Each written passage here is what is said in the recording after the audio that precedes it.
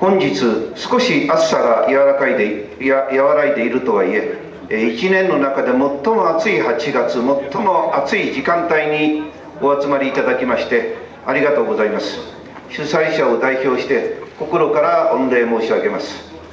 世界大会の基調となる国際会議宣言は核兵器が今もなお人類の生存を脅かして脅かし続けている。この脅威を一刻も早く根絶しなければならないという基本認識のもと全世界の人々に核兵器のない世界を実現するために共に力を合わせることを訴えました。また国際会議宣言は2010年 NPT 再検討会議は核兵器のない世界の平和と安全を実現することに合意した。この実行こそが問われている。今年から2015年再検討会議の準備が始まり多くの非核兵器国が事態を動かそうと強い決意で臨んでいると本世界大会が重要な局面の下で開催されていることを指摘しました。さらに2015年 NPT 再検討会議の第1回準備委員会で非同盟諸国新アジェンダ連合諸国とともに NATO 加盟加盟国を含む16カ国が共同で核兵器の非人道性からその禁止を訴えたことは注目される。今こそ市民社会と自治体国連政府機関がその努力を大きく合流させて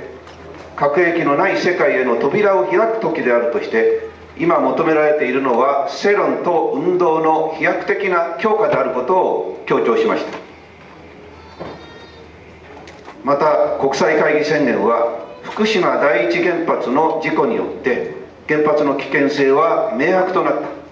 持続可能な開発のために必要なエネルギーを原発に頼らず将来の世代に危険を残すことなく調達することが求められているとの認識のもとに核燃料サイクルのあらゆる段階から生ずる核被害の根絶を目指すとともに核兵器と原発との関係に留意し使用済み核燃料の再処理とプルトニウムの蓄積。原子力の軍事利用に反対する立場を明確にしました。加えて非核の世界という理念を掲げる運動との連帯を表明いたしました。参加者の皆さん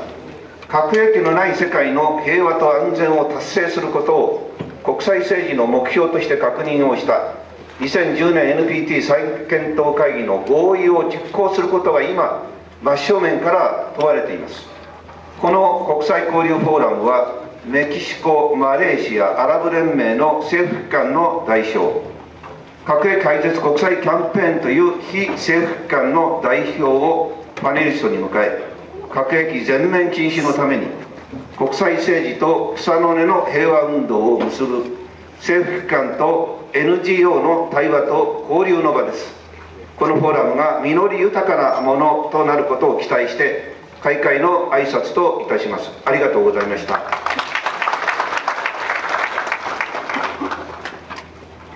野口先生ありがとうございました。えーと本日の討論で司会を務めさせていただきます。私日本元帥協の代表理事の高崎宏と申します。それともう一人私の同僚になるわけでありますけれども司会を務めます高島智美と言いますよろしくお願いします高島さんは長崎の三重連にお勤めの看護師さんですはい、看護師さんです。では、二人であの司会を進めさせていただきます。最初にあの議事の進め方に入る前に実は本日ですね3人の市長さんがお見えなんです、えー、長崎の田上市長まもなくおいでになると思います。そして、えー、遠くからですねはるばる岐阜の瑞穂市長の堀正太、えー、失礼しました高政市長ですね、えー、それともう一方大阪府の高石市長の坂口新六市長です。お二人を紹介しご挨拶いただきたいと思います。